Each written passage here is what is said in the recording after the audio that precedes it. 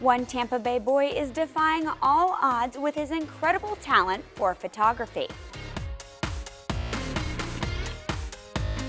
Tyler was diagnosed as being autistic around two and a half, but he always was an artistic child. And then around five, I saw a commercial for uh, the red Fisher-Price camera, and he never let it out of his hands. He took it everywhere we went, taking pictures.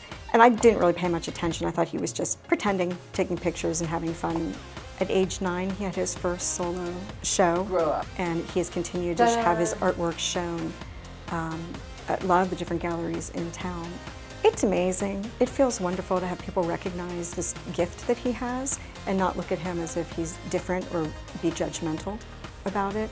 Tyler does act differently in public and people will give us a cross look or say something, but he's a wonderful, wonderful child. And I would say if you don't know anybody that has special needs, if you don't know anybody on the spectrum, get to know somebody who's on the spectrum.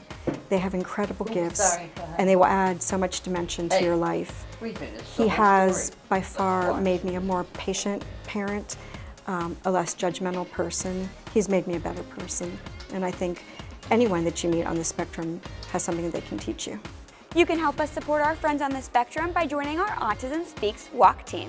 I'm Lila Gross, the Digital Desk. Back to you.